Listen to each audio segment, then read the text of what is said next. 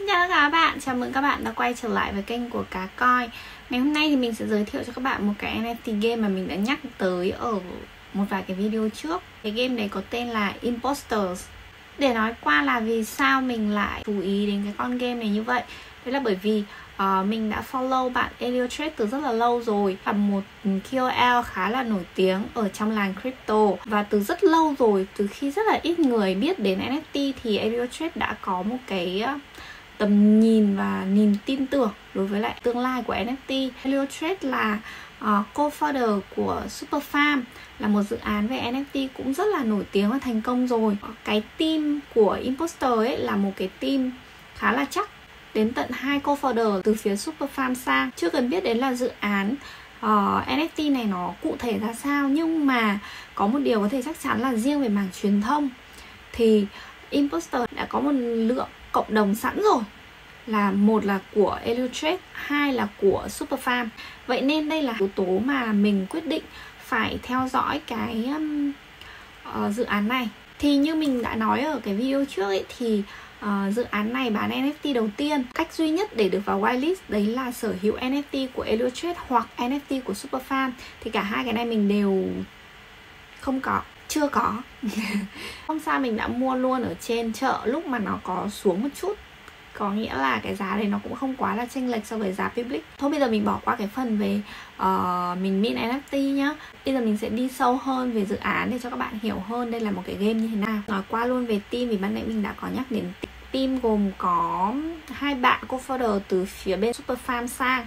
Đó người thứ nhất đấy là Elliot thì mình đã nói qua anh là ai rồi nhá. Thì người thứ hai đấy là Tim Clancy, Lead Blockchain Architect ở Superfarm. Người cuối cùng của team đấy là Marty Kaplan, người đứng đầu của Blockchain Game Vertical tại Amble. À, các bạn có thể nhìn qua về cái trailer của game ở đây nhé. À, đây là một cái game được miêu tả là Play and Own uh, Social Deduction Game. Có nghĩa là nó như là cái game sói ma sói các bạn phải loại trừ tìm ra ai là con sói. Thì cái game này cũng vậy. Bạn sẽ được chia ra làm hai phe. Một là người người vô tội. Thứ hai là imposter giết kẻ giết người. Thì nhiệm vụ của những cái người vô tội là phải tìm ra được ai là kẻ giết người trước khi mình bị giết. Còn nhiệm vụ của uh, kẻ giết người ấy, thì phải giết hết tất cả mọi người trước khi bị tìm thấy. thật ra thì uh, nó sẽ không phải là một cái game duy nhất đâu mà imposter hướng tới một cái kiểu dạng như là sandbox ấy. Thì sau này có lane này rồi có rất là nhiều trò chơi khác nữa chứ không chỉ gói gọn ở cái trò chơi như thế này. Cái điểm mà mình thấy rằng chưa có một cái dự án nào lại có một cái roadmap thông minh như thế đó chính là cái ờ, mùa Genesis. Mình sẽ giải thích cho các bạn tại sao mình cảm thấy nó rất là thông minh thì khi mà bạn mua con à, NFT Imposter thì các bạn sẽ được tham gia vào cái mùa Genesis cái à, phase đầu tiên của cái à, dự án này. Thì cứ hai tuần các bạn sẽ có một sự kiện. Và thực sự là team làm việc đi theo đúng lộ trình và không hề có một cái delay nào hết. Tạm thời đến thời điểm này là như vậy. Thứ nhất là uh, bán NFT sau khi mua con NFT 2 tuần, thì ngay lập tức các bạn có thể stake cái con đấy. Sau khi stake cái con imposter đấy, thì các bạn sẽ cho ra đồng blood, là cái đồng in game mà nó đã được list ở trên Uniswap rồi. Thì bạn sẽ dùng cái đồng blood đấy để min ra con UFO nhưng mà với điều kiện là khi bạn min ra con UFO không phải chỉ riêng với cái đồng blood đấy mà bạn phải hold con imposter nữa. Nên là luôn luôn con imposter đấy phải thông khí của bạn. Nên là cái giá trị của cái con imposter nó luôn luôn ổn định. À, bởi vì lúc nào mình cũng phải cần đến nó. Sau khi min UFO thì hai tuần sau các bạn sẽ min pet cũng cùng với lại cái đồng lốt mà các bạn đã stake. Tiếp theo đó hai tuần sau nữa thì sẽ bắt đầu có những cái uh, nguyên liệu để sử dụng để upgrade UFO và train con pet. Tuần thứ 10 thì các bạn sẽ có hộp dương để uh, gọi là gì nhỉ? Có thể nó là cosmetic kiểu như là thay đổi ngoại hình có mũ có quần áo ví dụ như thế mình cũng chưa biết rõ lắm. Tiếp theo đó thì các bạn sẽ có beta pass để có thể thử test game. À, đến cuối cùng cuối mùa là cái mình nghĩ là nó giá trị nhất.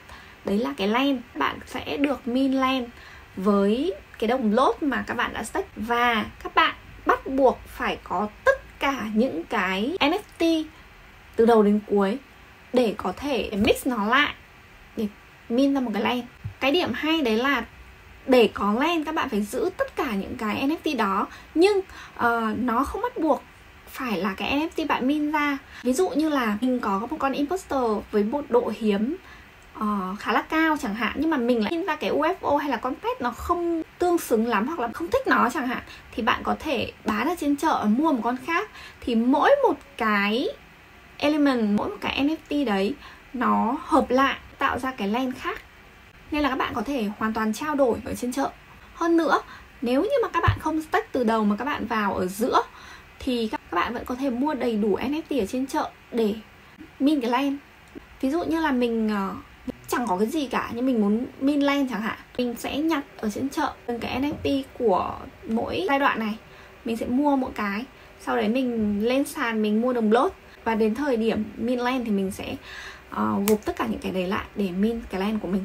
Đấy đấy là một cái điểm mà mình thấy cực kỳ là thông minh luôn. Uh, cái roadmap rất là chặt chẽ và thông minh.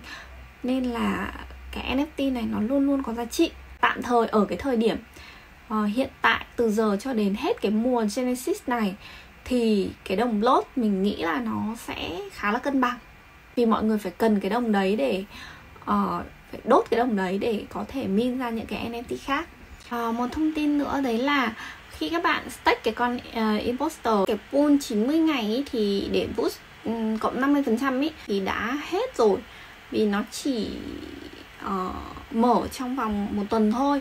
Tuy nhiên là các bạn vẫn có thể stake ở cái pool lock 60 ngày, 30 ngày hoặc là cái pool ờ, mà các bạn có thể stake hoặc unstake bất kỳ lúc nào. Một cái điểm mình thấy nó rất là, là tốt ở cái dự án này đấy là cái những cái người holder rất là tin tưởng. Không phải 100% nhưng mà có đến 97% số lượng imposter đang được stake và gần như là cái số lượng stake nhiều nhất là ở pool 90 ngày. Thế mình mới thấy là cái độ tin tưởng của community đối với dự án nó lớn như thế nào. Một vài thông tin ngoài lề không liên quan đấy là khi mà imposter bắt đầu được stake ý, bởi vì cái stake này nó là soft stake cái con imposter nó không đi ra khỏi ví của các bạn, nó vẫn ở ví của các bạn. Một vài người lợi dụng cái sơ hở là khi bạn stake rồi nhưng bạn vẫn list được ở trên OpenSea, thế là họ list cái con imposter của họ với giá cực kỳ là thấp vì họ biết chắc chắn 100% là con này nó sẽ không bán được. Cái giá sàn nó bị giảm đột ngột như thế. Thì rất nhiều người người ta không biết, người ta chỉ trade thôi, người ta không vào, người ta stake ấy. Thì người ta sẽ bị hoang mang và cũng list ở giá thấp như cái giá sàn đấy. Thì vô hình chung những cái người lợi dụng cái chuyện giá sàn nó ra đi để mua lại con imposter với giá rẻ hơn đỉnh điểm. Lúc trước khi stake ấy, thì con imposter một con nó lên đến tận 3,5 3,6 ethereum gì đấy sao ấy mình không nhớ rõ lắm. Cái lúc mà bị lỗi đấy ấy, thì nó còn xuống 2,1 2,2 rồi cơ. Đấy, bây giờ nó lên lại 2,7 rồi. Bên uh, Imposter làm việc rất là nhanh với, với OpenSea và đưa ra giải pháp. Hiện tại thì những con nào mà đang stake mà bị list ở trên OpenSea nó sẽ hiện ra là đang stake rồi. Nó không mua được. Có một điểm nữa là tất cả những cái dự án nào hot ấy thì nó đều sẽ bị scammer nhòm ngó đến. Rất là nhiều người đã bị hack bị scam mất con imposter của họ. Nên mình cũng đã chuyển con của mình về ví lạnh rồi cho chắc. Bởi vì ví lạnh của mình thì mình chẳng bao giờ tham gia vào những cái airdrop hay là um, whitelist cả. Nên là cũng hy vọng là mình không ấn linh tinh nếu như mình để ở ngoài thì có thể mình sẽ ấn linh tinh chẳng may bay vì Hiện tại thì mình đã stack con imposter của mình 90 ngày để lấy maxi số blood. Sự kiện gần nhất sẽ là min UFO và đây là một dự án mà mình đánh giá rất là cao về cả mảng marketing lẫn cả cái concept game và cách vận hành NFT của họ. Họ đưa ra một cái roadmap cực kỳ là thông minh uh, có thể giữ được giá trị của cả NFT lẫn cả cái đồng token lot ở trong game. Mình hy vọng đây là một con game thành công và mình đặt khá là nhiều niềm tin vào team này. Vậy thôi hy vọng mình đã mang đến cho các bạn những thông tin bổ ích hãy ấn like subscribe kênh của mình và bật chuông báo. Bye bye.